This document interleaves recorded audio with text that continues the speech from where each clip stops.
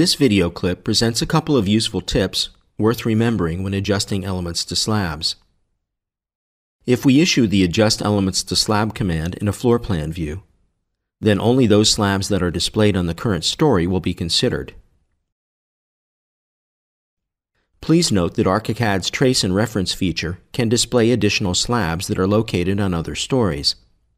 If the Trace and Reference is on and additional slabs are displayed, then these will also be considered when we issue the Adjust Elements to Slab command.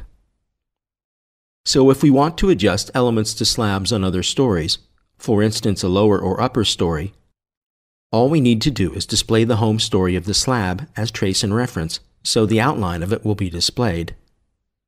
And the wall, column, and beam elements will be adjusted to this slab. Let's see another tip. This can be used when we need to adjust a wall or a beam to several slabs. But these slabs don't have the same vertical position. In this case, we can split the walls or columns at the position where the vertical shift in the slab occurs.